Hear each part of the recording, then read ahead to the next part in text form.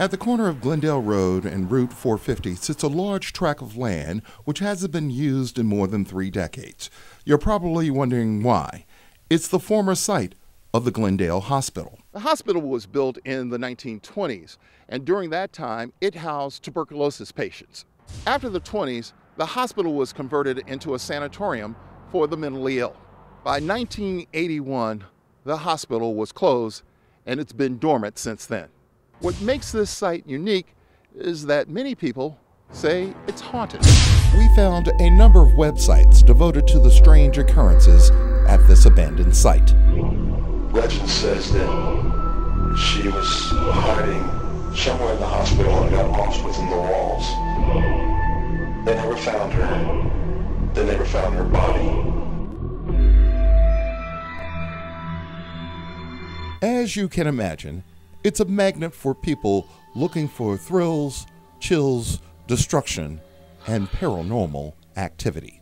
We've had a number of incidences over the years of, of uh, trespassers on the site, and we've installed security cameras on the site. We have a park police trailer just behind uh, where we're speaking, where a 24 uh, hour surveillance takes place with security cameras and with a park policeman who lives on site. We take the security here very seriously. We're looking for a development team that shares the vision that the community uh, has for the property, one that has the financial capacity and the experience and expertise to make a continued care retirement community uh, a reality. Ways Agency was engaged to assist the Parks and Recreation Department who needed his expertise. There are a number of restrictions on what you can do at the 60 acre site. The first phase is to qualify bidders' feasibility to make the necessary changes. It could include raising buildings or adding multi use to the continuing care which is mandated as a part of the redevelopment. The National Capital Park and Planning Commission will sign off on the project.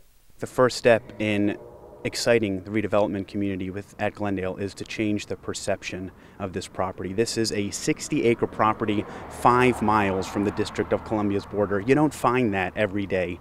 The community around the site is waiting for a change and it can't come soon enough. In Glendale, Maryland, I'm Charles Robinson for Your Money and Business.